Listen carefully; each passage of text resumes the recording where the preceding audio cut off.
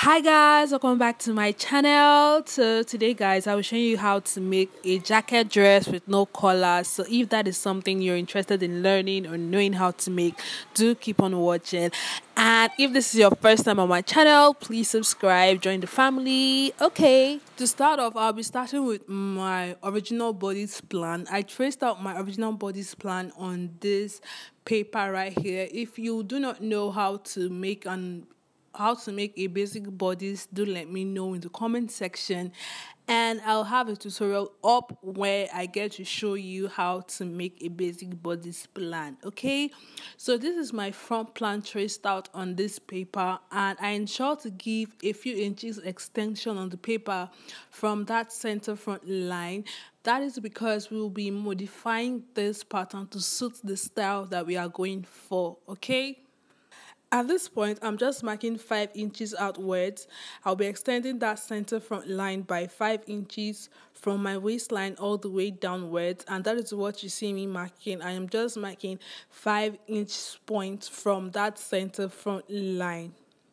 Once that is done, I'll be moving over to my shoulder and I will just mark how deep I want the neckline to be since we'll be making an overlap dress. I'm just going to mark how deep I want that neckline to be.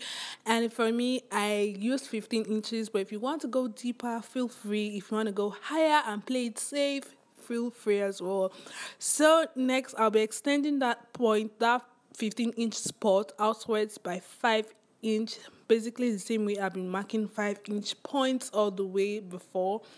Then I'll be connecting it to those 5 inch marks or 5 inch spots that I marked out earlier and I'll be drawing it with a straight line or connecting it with a straight line like so then once that is done, you should have something like a rectangle on the lower part of your basic bodice, depending on where you start your measurement from. Okay, next up, I'll be connecting my neckline along that shoulder line, at the edge of the shoulder line, to that 15 inch point that we just extended outwards by 5 inch, and that is to create my new neckline. So I'm just going to connect from that shoulder line up till the uh, 15 inch point where we just marked and that would create the neckline while the lower part would create the overlap effect for this piece. So guys i just realized that my lines look really really faint and i am so sorry. I had no idea. Just pardon me. Please pardon me okay? Once that is done i'll be moving over to my dart i'm just going to mark four inches and this is basically my nipple to nipple measurement. I have my basic dart drawn out already. So what i'm going to do i'm just going to mark that four inch point on my hip line and at the bottom of this pattern i'm just going to mark four inches and connect it to that center dart line using a straight line okay? So once that is done we have our lower dart or the body of the dart. Yeah the lower dart ready. Then i'll be moving over to my armhole and this is because i am making a princess dart. So yeah i'm making a princess dart okay? So i'm just going to mark half of that armhole line where the armhole actually touches the bust line. I'm going to mark half of that measurement and divide it yeah half of that measurement which is 4.5 and that is what I have marked out. Then I'll be connecting it to that center dart line. So don't know that for this armhole I'm not taking in measurement on either side of that dart line on the armhole. For in regular princess dart you normally take half inch on either side of that upper dart line that starts from the armhole and connect it to your waistline. But I won't be doing any of that for this tutorial okay? That is because I do not want any tightening or contouring along that armhole line. But if you do feel free to modify your dart basically the same way you want okay? So this is my dart already. And yeah it's all ready to go. So guys do note that a regular princess dart has an extension of one inch on that armhole basically because when you sew it tends to be shorter. So that one inch extension has like you know, avoid the side of the front piece being shorter. And I literally forgot to do that. Do not be like me. Make sure to extend your armhole by one inch. I'll show you guys what I'm talking about when I move over, move over to the back bodice plan. Okay, so this is my back bodice plan. You see that that armhole is extended by one inch. So what I'll be doing for the front plan is I'll be extending it by one inch when I am cutting it out on the fabric. Okay, so what I'm going to do next is to cut up this front panel or this front plan and yeah, I'm just going to cut this out and show you guys what it looks like. So after cutting it out, you can see the neckline, it's quite deep, but if you want something deeper, like I said, you do feel free to go deeper. So after cutting off the darts, yeah, the outer sides or the sides of the front plan, this is what it looks like. So this pattern is just basically 3 inches below my hip line but I do want a dress. So when I am cutting on fabric, I'll be extending this pattern downwards or increasing the length rather by about 15 to 17 inches. Yeah i'll be increasing this pattern length by 17 inches just to suit what i am going for okay? So this is the back plan all laid out. You can see that i extended that armhole by one inch like i showed you earlier and the center back will be cut into two. I'll be cutting two pieces for the center back because i want the back to have a center joining. But if you do not want that just cut your fabric on fold cut your center back fabric on fold. But i'll be cutting two pieces of each of these patterns okay? Two for the center back and two for the side back. That's one for the left and one for the right.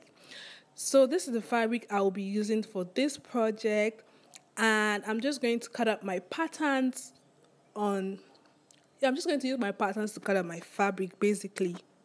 Ensuring to extend the length by 17 inches just so it's a gown. But if you want a jacket or something you can basically use your main bodice block. It's totally fine.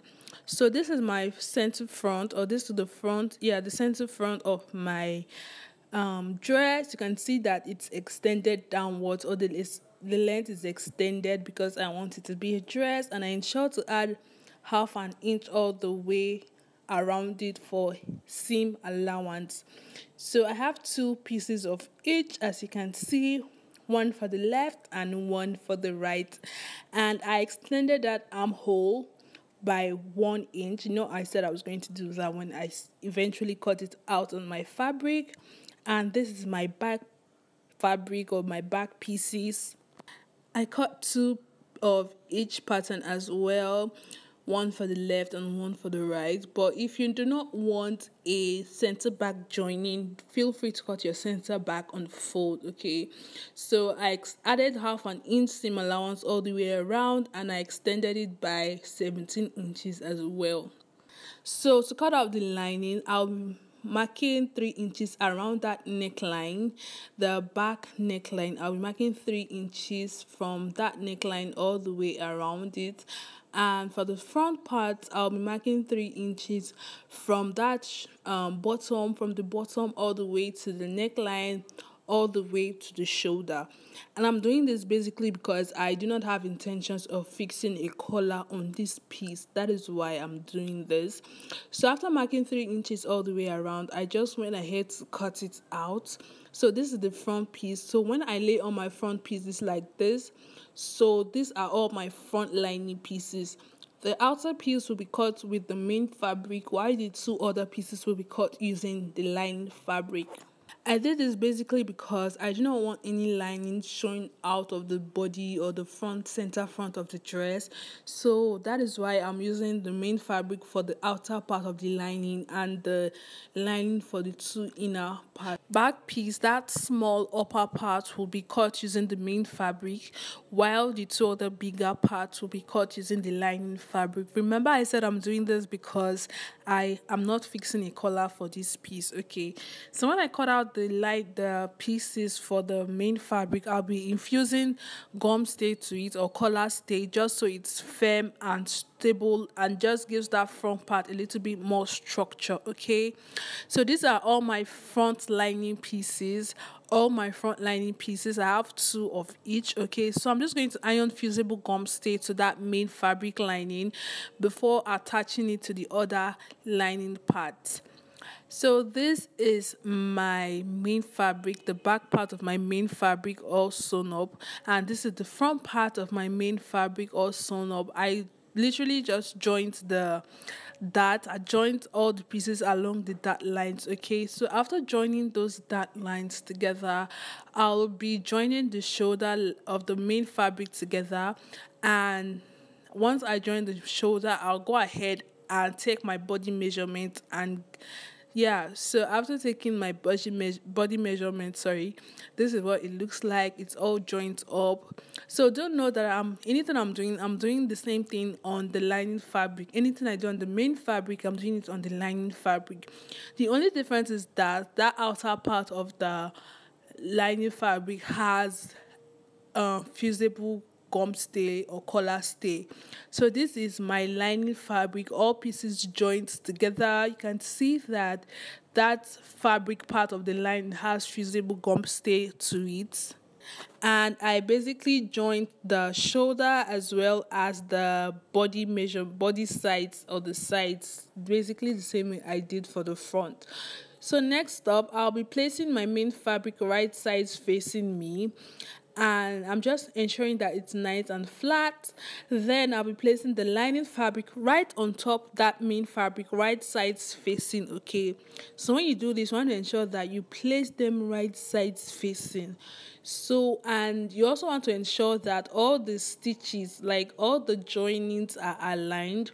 So you want to ensure that all the dart joinings are aligned properly, all the side joinings are aligned properly, the back um, joining uh, the center back joining is aligned the shoulder everything the back neckline is aligned properly. So what i'm going to do is to sew around that um sew around it ensuring to hold the main fabric to the lining fabric okay? But first start off i'll join the hem of this and just you know turn it right sides out so after doing that, I'm just going to turn it right sides out from the main, from the armhole rather. So you see I made tiny little notches. This is basically because I wanted to lay really flat and really nice, okay? So I'm just turning it right sides out from the armhole and I have the armhole open because I will be inserting or stitching a sleeve down there or yeah attaching a sleeve down there so after turning it right sides out this is what it looks like. You see how neat like you see how neat it is. All the seams are concealed. All the seams are concealed. It looks really neat. And this is the front part. And this is the front look. As you can see it's really really neat. And that is the armhole right there. So what i'm going to do next is to go attach my armhole and you know, stitch down my buttonholes as well as my buttons. And I'll show you guys what it looks like real, real soon. This is it after the sleeves and buttons have all been sewn down. It's giving me vibes, guys. You guys don't know how much I love this dress. I never expected it to come out this good. So, yeah, I actually have a belt tied on. I made a belt out of the fabric as well and I have it tied on at this point. So, yeah, guys, let me know your thoughts in the comment section. Give me a thumbs up if you enjoyed the video and subscribe if you haven't subscribed already. Join the family, okay? So, see you in my next video. Bye. Bye.